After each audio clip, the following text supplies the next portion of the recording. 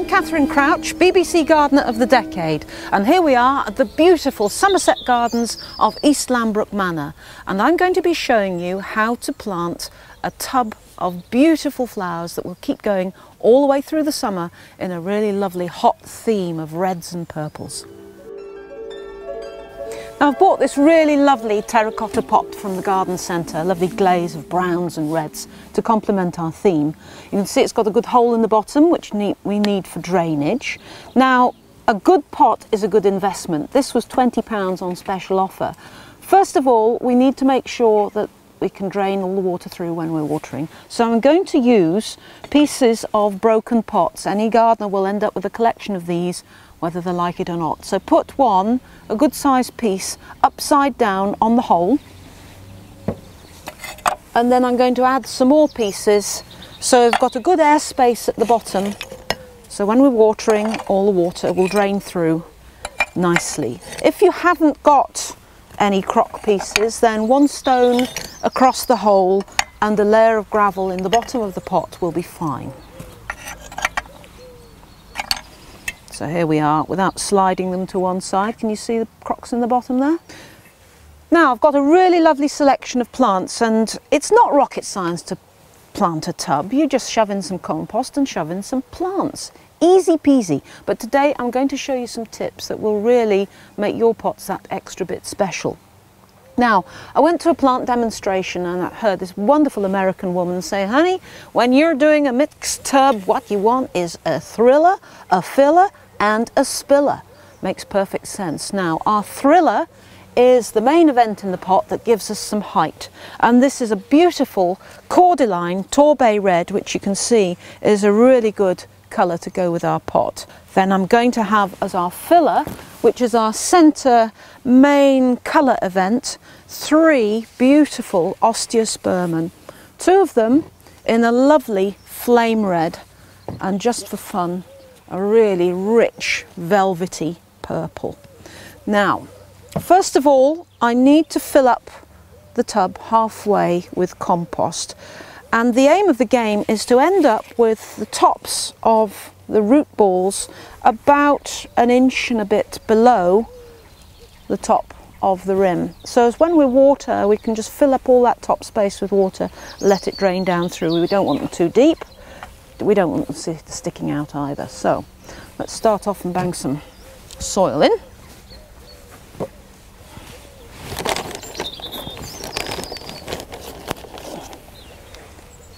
Use a nice big scoop, pop it in over the top of our crocks.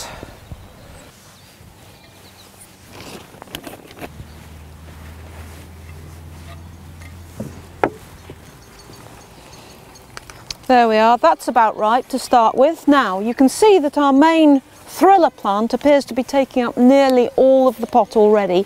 So we're going to have to do some clever cutting in order to make sure we've got room for all the other things. Now, if we put the osteospermums in with this cordyline, can you see how it's going straight over the top of the osteospermum? So what I want to do is give this a bit of a trim. So using just an ordinary pair of scissors, I can just quietly cut off right next to the stem, the very lowest of the shoots. We won't see these when the pot's completed. Let's take the label off. Now the great thing about using these is these plants, if we're giving a mild winter, maybe a little protection, the cordylines are hardy and you'd be able to use this plant year after year. There we are that should do it. So we've got some cuts there. They won't show a little bit more oblique. So knock it out of its pot. There we are, lovely root ball. Tease out some of these long roots just so as it encourages the plant to send out new growth into the compost instead of going round and round in circles. So we're going to pop this in the pot like so. Now we're really going to have to plant these fairly tight so I'm going to just tease off the root ball either side to make this slightly uh, flattened oval instead of a round shape. The plant won't mind if we break a root it can grow another one. Take all these old tats out and I'm going to put this as hard to the back of the pot as I can. Now then for our osteospermum, these were bought a couple of days ago and already one or two of the first flowers have gone over. So just for the look of the thing, I'm going to deadhead it and cut it off.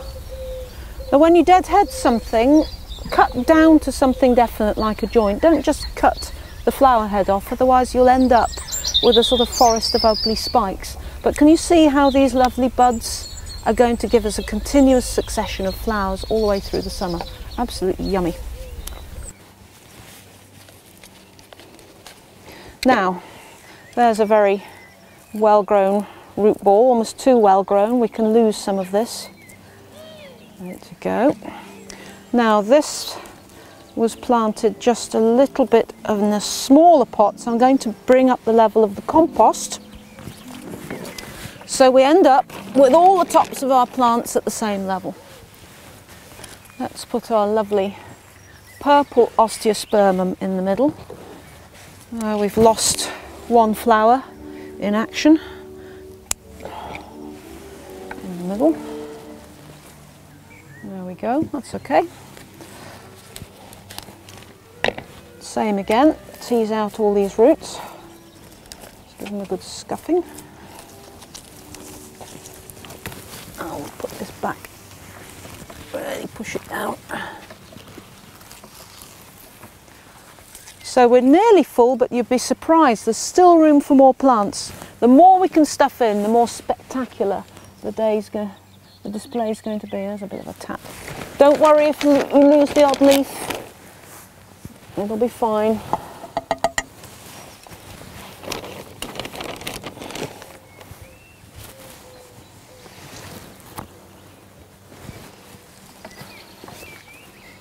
So to contrast with our rich, brooding, hot colours, I'm going to put some lovely lime green helichrysum. And these are our spillers. They will spill over the front of the container and these can grow two or three feet in a season. I've got plenty of compost underneath, they'll go like nobody's business. This is a Helichrysum gold. You can also get these plants in variegated and silver forms for other colour schemes. It's one of my favourites for a big pot. Sling over the top. Now what else have we got? We can still pack in a few plants. This is a Lysimachia, Midnight Sun, so the lovely dark bronze is matching the dark colours of the pot and the cordyline. We'll see if we've got space for that. This will have beautiful yellow flowers in later summer once the plant is established. Lovely contrast there of the, the dark foliage and the light. I love that, really yummy. I've also got, I don't know if we'll get away with this, this is a little climber. Climbs to two or three feet, four if it's really well fed. And this is Thunbergia Orange Beauty, otherwise known as Black-Eyed Susan. And if I find a little space for it, I wonder if she's going to climb her way up through the cordyline in the summer. Always worth a try. Let's see what we can do. A little stake, let's lose the label. I wonder if I've got a space back here. Yeah, I've got, if I rummage down through, I've got a space behind one of the osteospermums. So I'm just going to pop that in there and take the top off that. Let's hope we won't have our eye out. Trail that up through. Now it doesn't look like anything at all at the moment, but I'm hoping that will come. How are we doing? I think I might take one or two more of these leaves of the cordyline off because we're still not seeing the osteospermums to best effect. So let's do a little bit more of a trim. It won't mind, these plants grow like toothpaste coming out of a tube. It will produce more shoots out of the top of the plant, but I think it'll look better if it's coming up as a bit of a fountain rather than spreading out completely.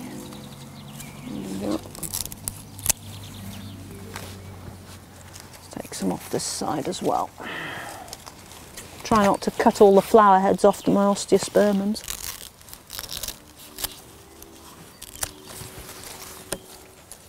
There we go. We've still got a nice bit of vertical effect, but now we can see the osteospermums a lot better. Now, we just need to pack in more compost in around the gaps between the plants. And using a dibber is a really good idea to make sure that we haven't got any gaps. You can see how wobbly our cordyline is, so that needs a good packing around to keep it stable. Shove in more compost. Again, this will take a little while, so don't rush it. Feel down with your hands to see we haven't left any yawning gaps. Now, even when you push as much compost in between the plants, you might find that after you've watered it all in, watering is not just to moisten an already moist pot, but it's to settle the compost firmly around the roots of the plants. And you might find if you've got a bit of a hole, then the compost sinks down. So water it and then have another look to see if you need to add any more compost. There we are. Don't worry about getting compost all over the leaves because that will wash off when we water. There we go. That's pretty good. Now, looks like we're complete, but there's still something we can do to give this some extra vavavoom. Here's a pack of nasturtiums. Now, this is a climbing variety from Sutton Seeds called Tropical Mix. Now climbers don't have to climb. In nature they often sprawl. So what I want to do is to just take some of these seeds and these are nice and easy to sow. They're really quite big seeds. Very happy to grow in competition and I'm just going to poke a few of them just down to my finger joint in around the edge of the pot and I'm hoping that these will germinate where they can see the light and spill out over the pot with lovely orange and yellow and scarlet flowers and they could trail up to three feet away so it's going to look quite spectacular. Let's give it a go, in you go. Now nasturtium seeds aren't too expensive to buy and the great thing about growing things from seed if you don't tell anyone and they don't grow, nobody's any the wiser. So your reputation as a successful gardener will remain intact. Now, we're still not done. Still a few holes here. And to ensure that this display will keep going right the way through the summer, we need to add some extra feed. Now, when it came to compost, years ago I was far too poor and mean to buy decent compost I have found that if you use a specialist tub and container compost, success will be assured because you're paying for extra fertiliser and water retaining granules, which if your pot should dry out completely, it will absorb water much more readily. There we are. Now don't worry if your container at this stage looks a little bit tatty because all our plants are facing in funny directions. That will improve once it grows on a little bit. So, to ensure that this keeps going all the way through the year, we want to give it some extra feed. A couple of ways you can do it. You can either water with a liquid fertiliser every time you water the plant or every week or so. I always end up forgetting. So what I use now are these Osmocote um, slow release fertiliser capsules. Once you've got these in, this should feed the whole pot for six months when all you have to do is water. And by the end of the season, your pot will be twice as big as your neighbour's. For a pot this size, I would probably use six or seven and just push them down into any gaps with your finger or thumb until uh, sort of the length of half your finger down into the compost. And every time you water, these capsules will release a small amount of fertiliser and the plants will take it up and grow beautifully, healthily all summer long. So it only remains for me to find the odd extra gap. If you don't want to use chemical fertiliser and would prefer an organic solution, one thing you can use is pelleted chicken manure. This is quite nice to handle just don't chew your fingernails afterwards. Wash your hands. and sprinkle a little bit of this around here but I would probably be putting a handful of this on this pot in amongst the plants once a month right the way through the summer to make sure the nutrients carry on through. So all we have to do now is clear up a little bit, your little tweak and give it a water and there we have one hot tub for summer. I've planted this with my thriller to the back of the pot, my fillers in the middle and my spillers at the front. So I can view it from one side. This would be great for planting, um, putting it on my front doorstep for example. If you want to plant this so as you can view it from all the way around, put your thriller in the middle and your fillers in a triangle around and then your spillers all the way around the pot.